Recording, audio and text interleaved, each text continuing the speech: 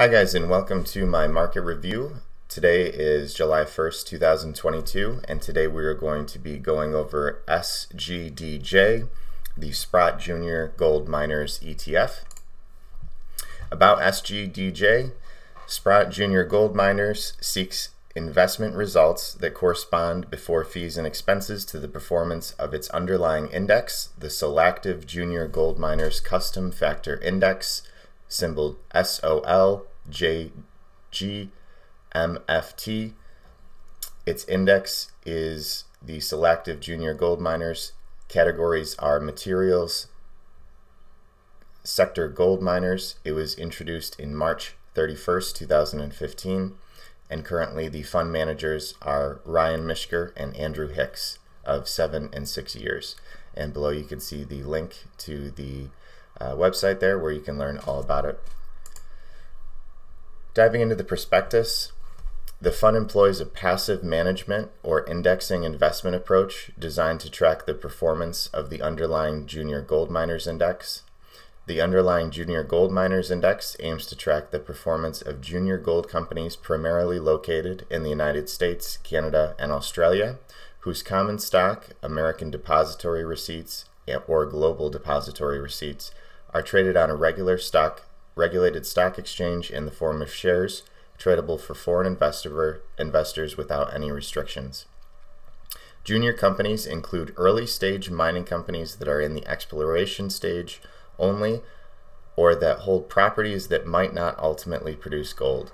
Most of these companies are in the development and exploration phase and are on the lookout for land with higher chance for uncovering large mineral deposits. The underlying Junior Gold Miners Index is compiled by the Solactive uh, AG, the index provider. Principal investment risks. Gold and silver mining industry risk is the number one. The fund is sensitive to changes in and its performance will depend to a greater extent on the overall condition of the gold and silver mining industry in times of stable economic growth, traditional equity and debt investments could offer greater appreciation potential, and the value of gold and silver and other precious metals may be adversely affected, which could in turn affect the fund's return.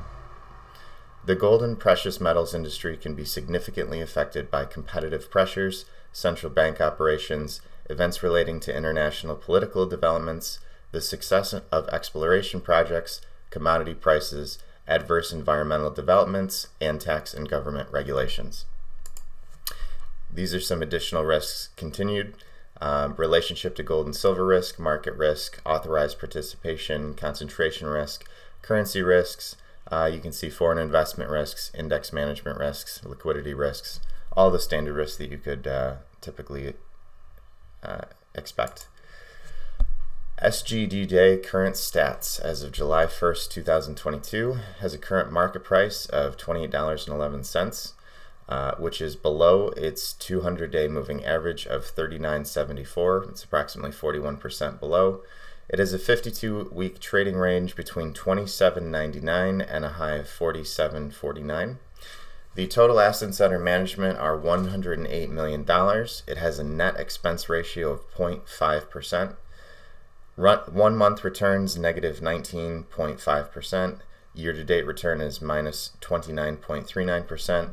One year return is minus 31.80%. And it is options enabled. SGDJ performance. The distribution yield, TTM, is the measurement of cash flow paid by an exchange traded fund, real estate investment trust, or another type of income paying vehicle. Rather than calculating the yield based on the aggregate of distributions, the most recent distribution is annualized and divided by the net asset value of the security at the time of the payment.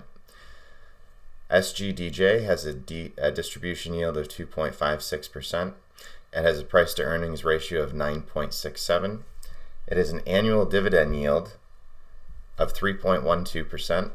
The ex-dividend date is December 15th of 2022.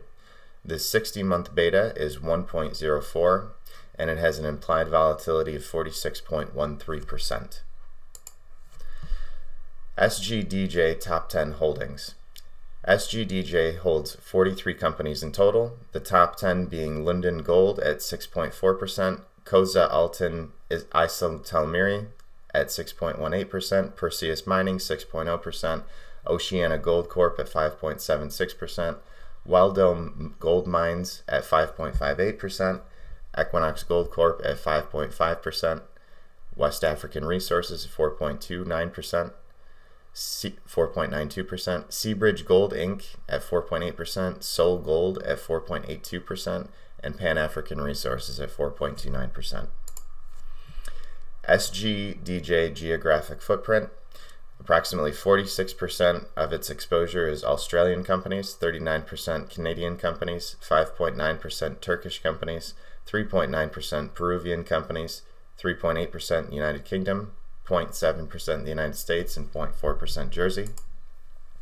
And thank you guys for taking some time to learn a little bit more about this company and this investment product. Uh, as a disclaimer, I am not a financial advisor. Do not take anything on YouTube as financial advice. Please do your own research. Consult a professional investment advisor before making any investment decisions. My YouTube analysis is for entertainment purposes only.